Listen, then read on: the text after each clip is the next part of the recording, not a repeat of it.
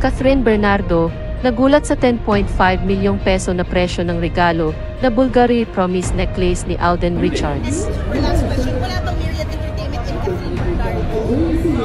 Coming soon, let's go!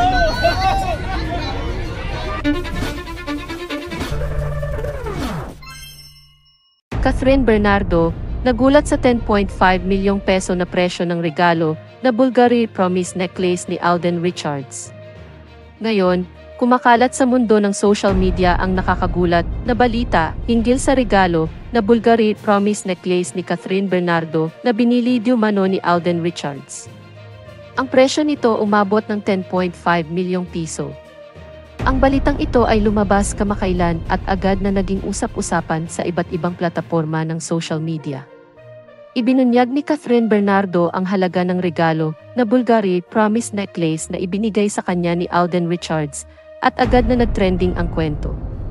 Bago ang paglantad sa presyo, nanawagan si Catherine sa mga bagong taga-subaybay na mag-subscribe sa kanilang channel. Matapos nito, isiniwalat niya ang kakaibang impormasyon tungkol sa kanyang regalo na Bulgari Promise necklace. Ang naging sorpresa ng publiko ay nang malaman na umaabot sa 10.5 milyong piso ang halaga ng nasabing necklace. Ayon kay Catherine, ito ay gawa sa isang kilalang jewelry shop at itinanghal na isang obra ng sining na puno ng mga diamonds. Bagamat wala pa ito sa kamay ni Catherine, makikita na ito sa mga larawan. Ayon sa aktres, espesyal ang necklace dahil sa mga diamond na nagbibigay ng karagdagang halaga dito. Hindi lang ito simpleng necklace, kundi isang simbolo ng pagmamahalan ni na Catherine at Alden. Sa nalalapit na kasal ni na Catherine at Alden, muling binuhay ng aktres ang pag-uusap ukol sa presyo ng kanyang regalo na Bulgari Promise Necklace.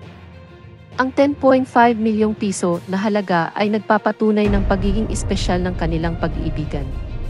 Sa kabila ng pagbibigay diin ni Catherine Bernardo sa espesyal na halaga ng kanyang regalo na Bulgari Promise Necklace, nagbigay pa siya ng dagdag na detalye ukol dito.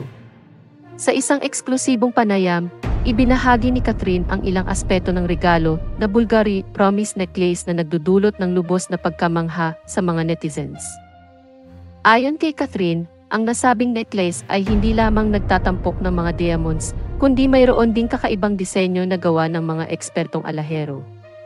Ipinakita niya ang intricacies ng disenyo na tila nagbibigay buhay sa bawat bahagi ng necklace. Isa itong likas na ganda na nagsasalaysay ng kwento ng kanilang pag-ibig. Dagdag pa ni Catherine, ang 10.5 milyong piso ay naglalarawan ng mataas na antas ng pagpapahalaga ni Alden Richards sa kanyang piling. Hindi lang ito simpleng necklace, ito ay isang pamana ng pagmamahal na may taglay na pagsusumikap at pagmamalasakit, pahayag ni Catherine. Samantalang marami ang nagpahayag ng tuwa sa magandang balita, may ilan namang nagulat sa mamahaling halaga ng regalo na Bulgari Promise Necklace. Gayunpaman, muling ipinaalala ni Catherine na ang pagpapahalaga sa bawat saglit ng kanilang pag-iibigan ay ang pangunahing dahilan kung bakit nagkaroon ng ganitong kahalagang bahagi ang kanilang pagmamahalan. Sa mga darating na araw, masusubaybayan pa ang iba pang detalye tungkol sa nalalapit na kasal ni na Catherine Bernardo at Alden Richards. Huwag palampasin ang mga kasunod na kaganapan sa aming news channel. Maraming salamat sa inyong pagtutok. Ayon sa ulat, tila ang isang issue ang nagiging sentro ng atensyon sa kasalukuyan tungkol kina Catherine at Alden. Ayon sa mga nanggugulo ng balitang ito, tila sobra-sobra raw ito para kay Catherine. Ngunit ayon naman kay Alden, nararapat lang daw ito para sa kanyang soon-to-be wife. Binibigyang diin ni Alden na si Catherine ay nag-iisa sa mundo, at sa paglalagay pa lang ng mga diamonds sa necklace, nais nitong patunayan ang kanilang wagas na pagmamahalan. Dahil dito, mas lalo pang ramdam ni Catherine ang kahalagahan ni Alden sa kanyang buhay. Ayon sa aktres, bihirang pagkakataon ang magkaroon ng isang tulad ni Alden na handang gawin ang lahat para sa kanya. Ipinagpapasalamat ni Catherine ang pagiging super sweet ng aktor sa kanya at umaasa na ito'y magtatagal pa. Sa gitna ng mga komento mula sa ibang tao na nagsasabing mas lucky si Alden kay Catherine dahil sa kanyang kayamanan, mariing itinatatwa ni Catherine ang mga ito. Ayon sa kanya, hindi niya iniisip ang anuman na maaaring maging hadlang sa kanilang relasyon. Ang mahalaga sa kanya ay ang responsableng pagmamahal ni Alden, ang pangako nitong mamahalin siya habang buhay. Dagdag pa ni Catherine, handang-handa siyang magbigay ng tulong kay Alden, lalo na sa aspeto ng pinansyal.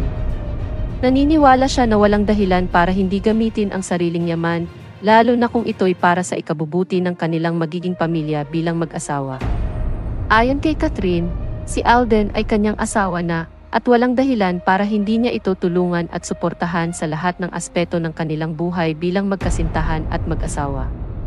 Sa pagtatapos ng maikling panayam, bukas ang mga puso ni na Catherine at Alden sa pagharap sa kanilang masaya at mas matatag na kinabukasan bilang magkasintahan at mag-asawa. Sinabi ni Catherine na hindi niya iniinda ang mga haka-haka mula sa ibang tao, at mas iniuna niya ang pagtataguyod ng kanilang relasyon kaysa sa mga bagay na wala namang katuturan.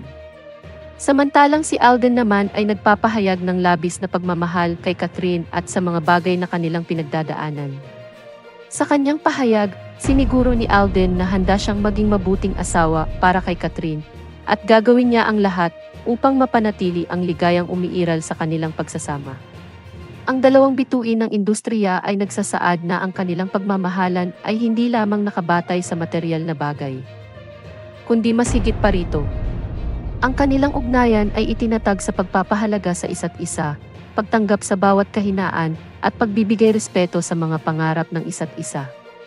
Sa kabila ng lahat ng mga intriga, mas pinipili ni na Catherine at Alden na manatili sa kanilang masaya at payapang mundo. Handa silang harapin ang anumang pagsubok na maaaring dumating at ituring ang bawat isa bilang kakampi sa bawat yugto ng kanilang buhay. Ang pag-ibig ni na Catherine at Alden ay tila isang masalimuot na kwento na puno ng pag-asa at pagmamahalan. Sa kabila ng mga opinyon at spekulasyon, ang magkasintahan ay patuloy na nagtataguyod ng mas matibay na pundasyon para sa kanilang samahan.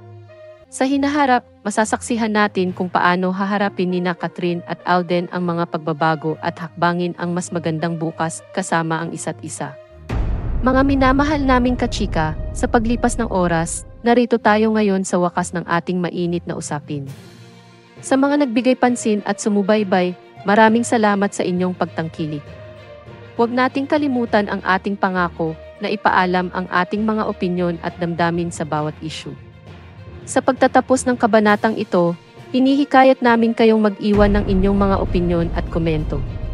Mahalaga para sa amin ang inyong tinig at nais namin malaman ang inyong mga saloobin. Hanggang sa muli, mga kachika. Abangan ang susunod na kabanata ng ating kwentuhan. Maraming salamat sa pagiging bahagi ng aming komunidad. Paalam at maraming salamat ulit sa inyong suporta. Our hearts beat to the city streets. We began to feel the fire. We rise like